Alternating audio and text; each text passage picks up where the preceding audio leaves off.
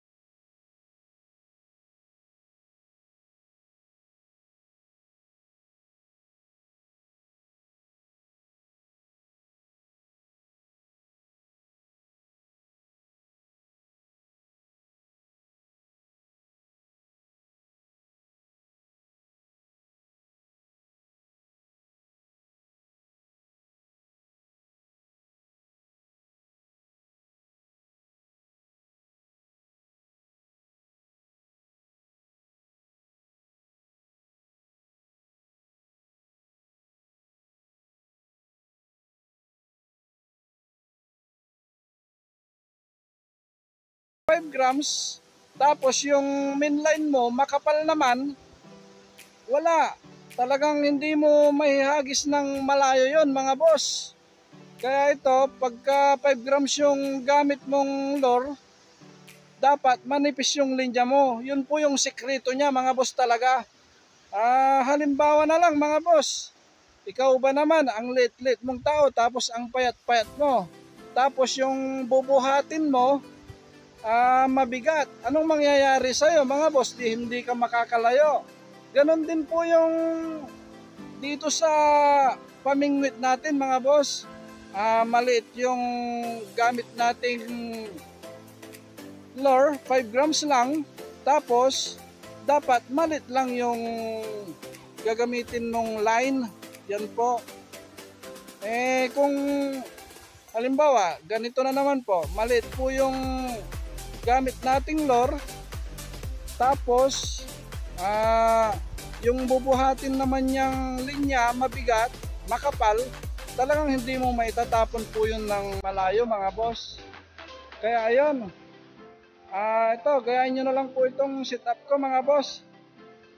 Ah, kapong na ultralight 762, tapos 5 grams na lure, tapos yung gamit nating mainline, ah, pwede kang gumamit po ng 6LB o kaya 7LB mga boss. Yan po, sigurado po, malayo na po yung tapon ninyo yan mga boss. Tsaka, hindi, nasabi ko na pala tong reel, no? 2000 series na reel o kaya ay 1000 series na reel. Ah, yung gamit ko ring leader line, 15 LB po na fluorocarbon trilene. So ayan po, magandang umaga po na naman sa ating lahat mga boss. Diyan po kami mamimingwit ngayon, no? Yan po, medyo maganda po yung alon ngayon, hindi siya maalon masyado, katamtaman lang po. Yan po, tara na mga boss, bingwit na po tayo. Magandang umaga po.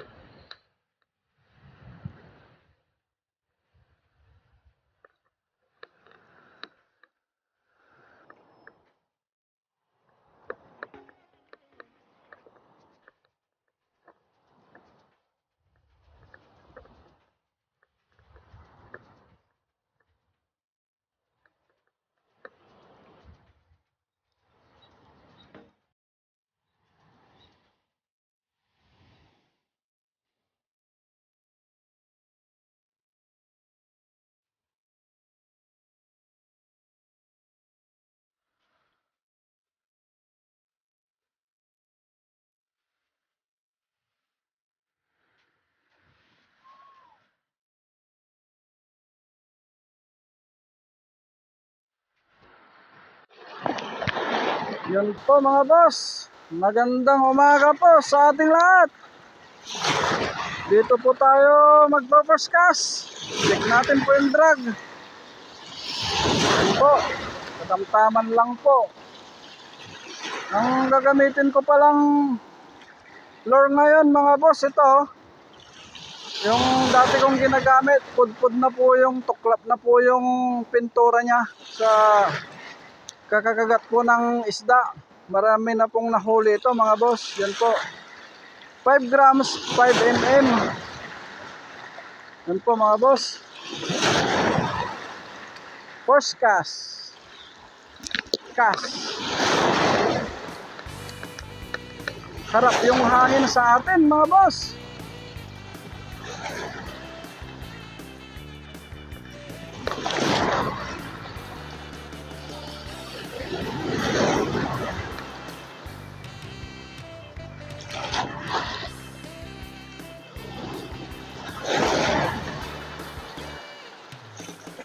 Ganda ng spot kaso nga lang parang walang nagparamdam mga boss. Try natin ulit. Cast. Oh. Napapatras tayo sa Ay! Alam mga boss ah. Delikado to. Para sumubsog tayo dito mga boss.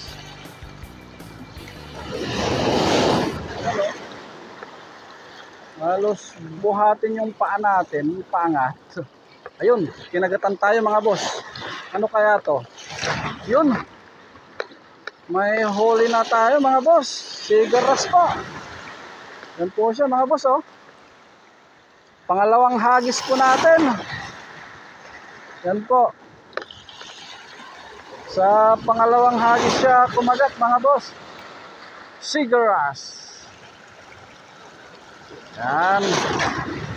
Ooh. Tinutulak talaga tayo ng alon mga boss. Lalakas. Tabi muna tayo. Baka sumubsob tayo. Tabi, tabi. Ito po yung huli natin mga boss oh. Sigaras. Yan po siya oh.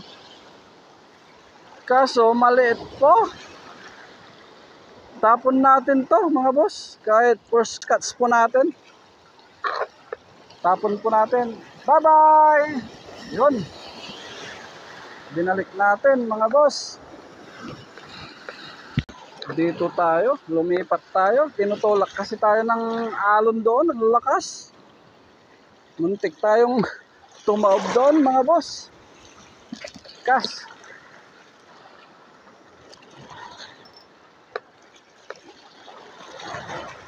Pero may nailan tayong ano doon mga boss, cigaras. Yun po yung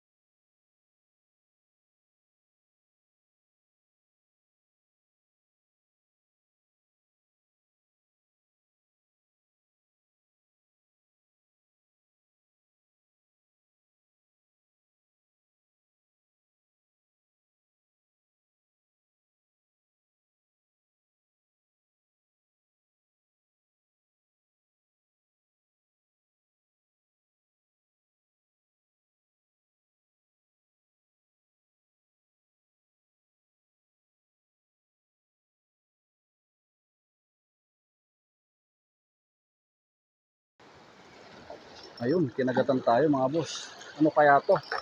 Naku, siniksik pa. Oops, ang lakas niya. Oops, ano to kaya? Uy, sinisiksik mga boss. Ayan na siya oh. Yan nakita nyo mga boss. Yun. Naku, anong isda to mga boss? Ito yata yung... Iwan ko kung anong tawag dito. Yan po siya oh. Good size na rin po siya mga boss. Keep po natin. Pangalawang huli po natin. Yan po siya. Ano kayang isdang to? Oh, nahulog pa. Yun. Wala, nakaligtas mga boss. Wala pa tayong ano, na-equip. Di bale, ayos lang. Ayos lang. Yun oh, naiwan po yung kaliskis niya mga boss oh. Nahulog. Ayos ah. Ayaw niya. Kas.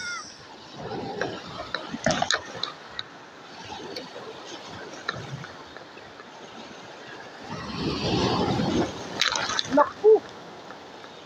Abot talaga tayo ng alon.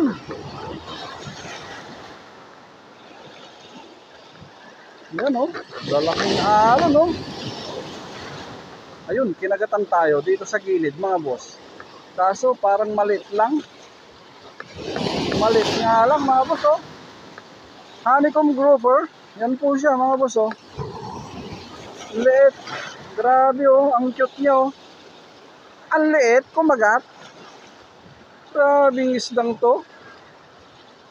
Halos mas malaki pa yung pain natin eh. Ang liit mo boy. Huwag kang kakagat basta-basta sa pamain ko. Huli ka tuloy. Ano? Tapon natin mga boss, balik natin. Yun. Lit masyado. Tapang niya. Try pa natin ulit. Baka may kasamang malaki. Kas.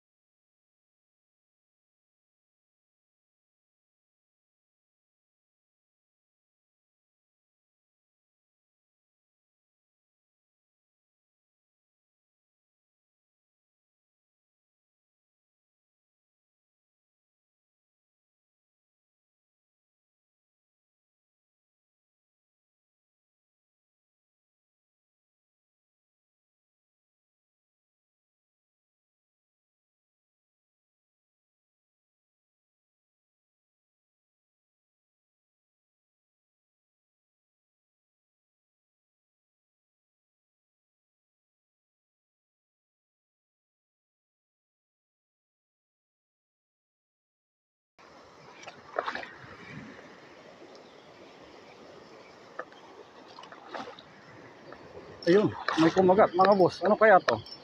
Yun oh. Naku, natanggal na yata. Hindi, nandyan pa yata. Pero maliit na naman siguro to. Ayun, ayun. Good size na po siya mga boss. Yan po. oh. Peacock grouper mga boss. Good size po ito, good size. Yan po, sa wakas may kung hindi siya makakaligtas, kung hindi natin siya mabibitawan, sa wakas, meron tayong, meron na tayong ano, maikikit mga boss. Kit natin to.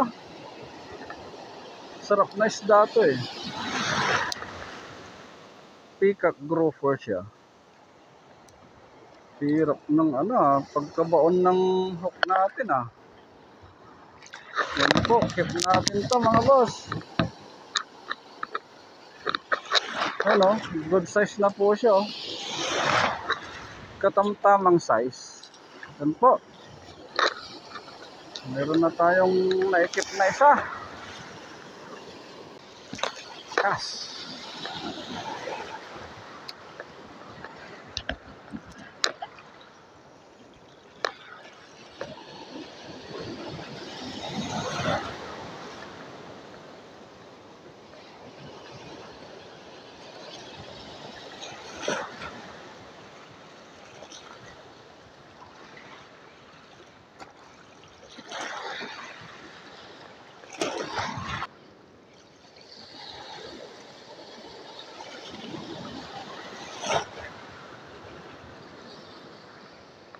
Naku, pumadik na.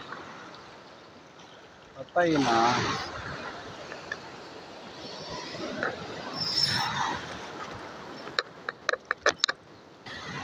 Ito po mga boss oh.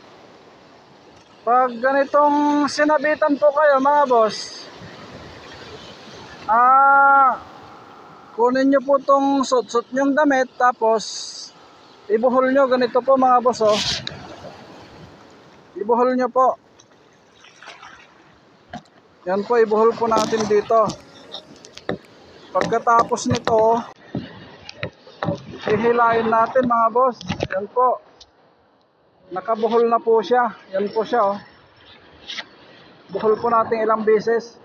Tsaka po natin hilahin. Pero, make sure po na yung tali sa dulo ng tip natin sa rod, make sure po na hindi siya nakabuhol doon sa dulo mga boss.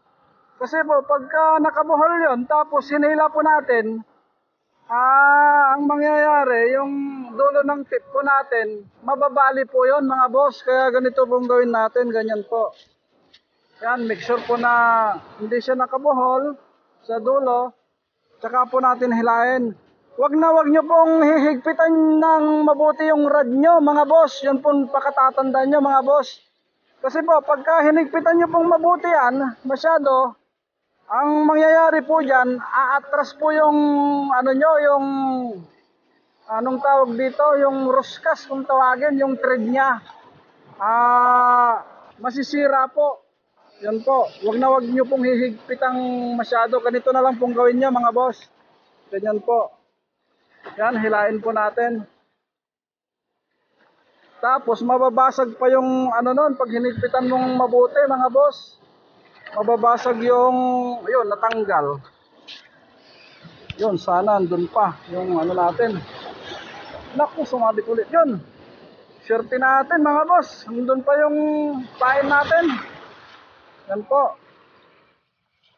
Pagka hinigpitan mong mabuti kasi yung ano, reel mo nun, mababasag yung ano niya, gear niya sa ilalim.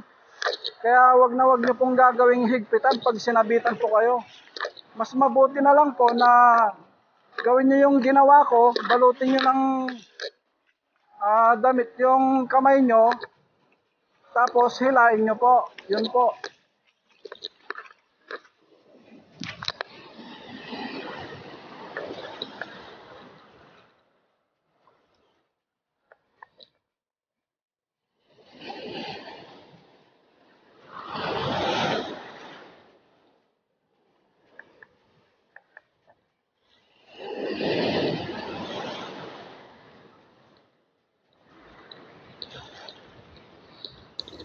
Yun, yun. Kinagatan tayo mga boss. Yun. May kumagat. Strike. Yun oh. Peacock grouper na naman mga boss. Yun. Medyo malaki-laki to. Yan po mga boss oh. Ayos. Oh, ang laki. Ang laking peacock. Oh. Sakmal na sakmal yung hook natin na naman. Yan po mga boss. Oh, woohoo. Ayos. May pang-ulam. Yan po. Laki. Laki nito kaysa dun sa unang kit natin. Yan po siya oh. Ganda ng kulay mga boss oh. Asol-asol. Yan, kit natin. Ayos, kumagat siya sa 8.9 grams. Try po po natin ulit. Wala na naman po tayong halos na huli. Bukod sa wala na po kasing kumakagat, matumal yung isda ngayon, meron pang bulabog. May mga sumisisid mga boss. Kaya ayun, wala tayong halos na huli. Maiksi lang tong video natin ngayon mga boss. Pasensya na po kayo. Bawi na lang po tayo ulit pagka maganda-ganda na po yung kagatan sa dagat mga boss. Ah, mainit na po kasi yung panahon talaga ngayon. Kaya madalang na yung mga isda sa gilid. Ah, pumupunta na sila ngayon sa medyo malalim. So, ayan po nung una, yung first cuts po natin, cigaras po. Bale, nirelease po natin kasi po, malit pa po mga boss. Tsaka, ewan ko kung ano yung sumunod, yung rust din yung isa, yung kulay green kanina na tutuhugin sana natin. Kaso nga lang madulas kaya nabitawan ko po. I-release din po natin siya. Tapos ah, sinundan po siya ng honeycomb grouper na maliit. Kaya nirelease din po natin siya. Bali tatlo po yung na-release natin. Bali lima, lima lahat yung nailan natin. Tapos tatlo yung nirelease natin. Tsaka dalawa yung ah, tinuhok natin ah, anong tawag dito? Yung kinip po natin mga boss. Bali ito po yun dalawang peacock grouper po. Yan po. Ah, good size na po sila kaya kahit papano na naman po may ulam na naman po tayo. Sige po. Ayan po.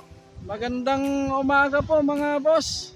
Hanggang sa muli po ulit salamat po sa inyong panonood